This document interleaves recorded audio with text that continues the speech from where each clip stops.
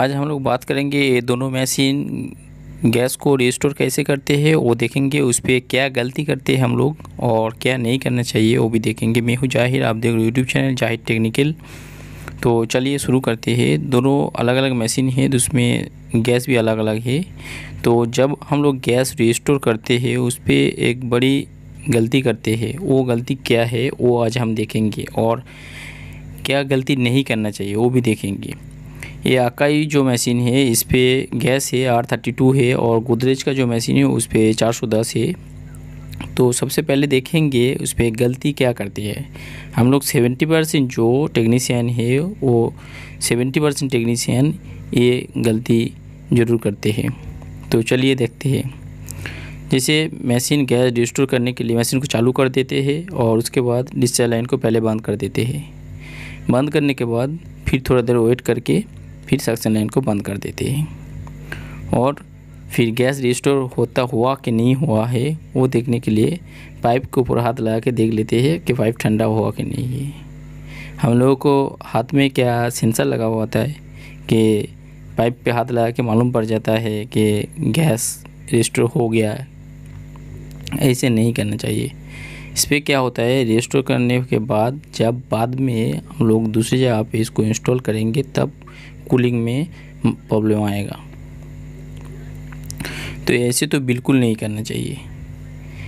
तो गैस को स्टोर करने का सही तरीका क्या है? तो वो आज हम देखेंगे। तो दूसरे वाला जो मशीन है, उसको पहले देख लेते हैं। जैसे ये वाला जो मशीन है, आकाई का है आर थर्टी टू गैस है इस पर तो सबसे पहले हम लोगों को चार्जिंग लाइन का जो पोर्ट है, उस पर हम एडाप्टर भी लगा सकते हैं और डायरेक्ट जो चार्जिंग लाइन आता है वो भी लगा सकते हैं।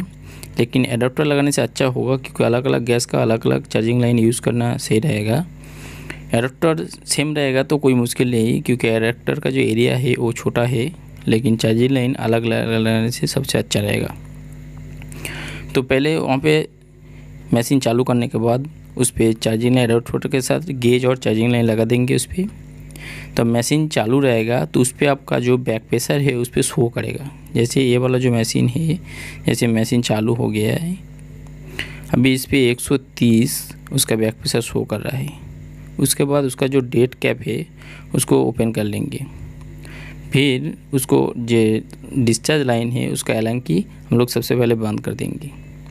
जब एलंकी बंद कर देंगे तो गैस सक्सेस लाइन से खींच के कंडेंसर में स्टोर होने लगेगा। तब आपका जो गेज है, उसका जो सुई है, वो ज़ीरो पे जब आ जाएगा, तब मशीन को तुरंत आपका उसका जो सक्शन लाइन है, उसको बंद कर देना चाहिए। मतलब इस तरह गैस रिस्टोर करना सबसे बेटर है।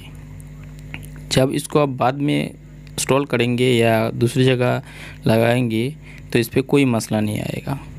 आशा करता हूँ वीडियो अच्छा लगा। और वीडियो अच्छा लगा तो प्लीज़ सब्सक्राइब एंड लाइक करना और बेल नोटिफिकेशन को ऑन करना इस टाइप वीडियो देखने के लिए। तो चलिए आज के लिए इतना ही।